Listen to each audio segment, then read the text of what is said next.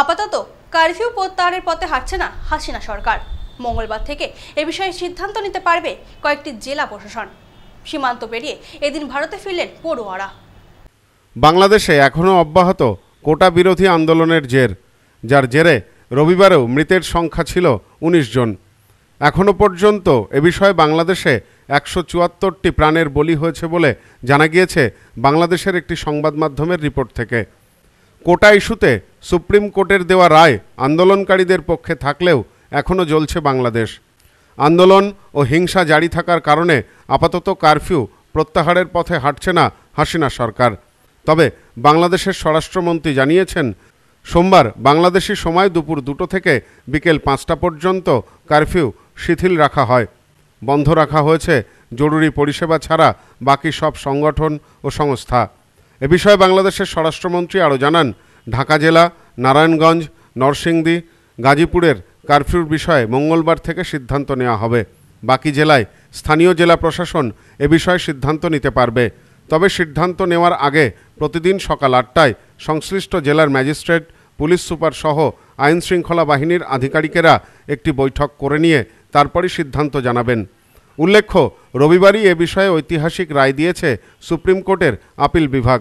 সেখানে বলা হয়েছে, চাকরির ক্ষেত্রে তিরানব্বই শতাংশ আসন সংরক্ষণ থাকবে সাধারণের জন্য, পাঁচ শতাংশ থাকবে মুক্তিযোদ্ধাদের পরিবারের জন্য, এবং বাকি দু শতাংশ থাকবে পিছিয়ে পড়া জনগোষ্ঠী এবং বিশেষভাবে সক্ষম ও তৃতীয় লিঙ্গের প্রার্থীদের জন্য।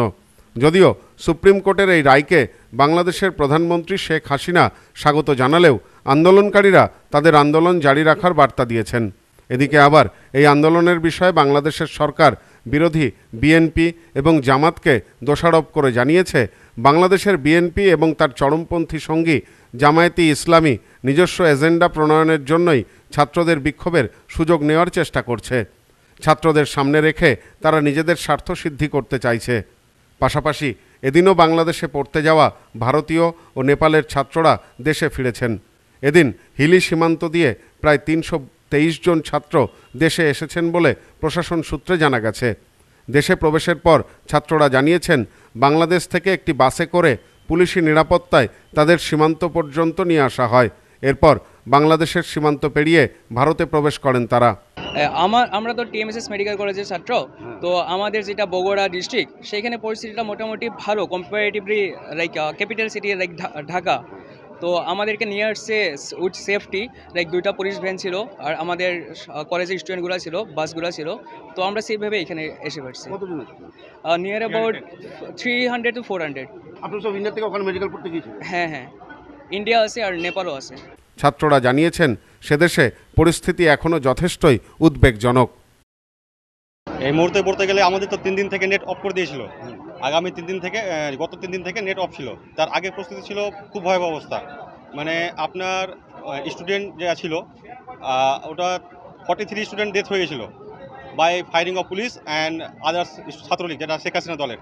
আমরা কলেজ থেকে এলাম আমাদের কলেজ কলেজ কর্তৃপক্ষ নিয়ে এলো। প্লাস আমরা আমরা পুলিশের সাহায্যে এসেছি।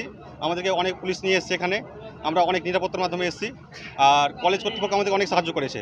তো আমাদের কোনো অসুবিধা হয়নি আসতে। খুব মানে নিরাপত্তা এসেছি আমরা। আমরা almost three hundred to three hundred fifty মানে তা তিনশো থেকে সাড়ে তিনশো জন এসেছি। Bureau report news no man's land Bangladesh. সবার পায়ে সবার পছন্দের উন্নত গুণমানের জুতো প্রস্তুতকারী সংস্থা সুনীতি ফুটওয়্যার ডিস্ট্রিবিউটারশিপের জন্য যোগাযোগ করুন eight six one seven double eight three four nine three office Bangaon উত্তর চব্বিশ পরগনা পশ্চিমবঙ্গ।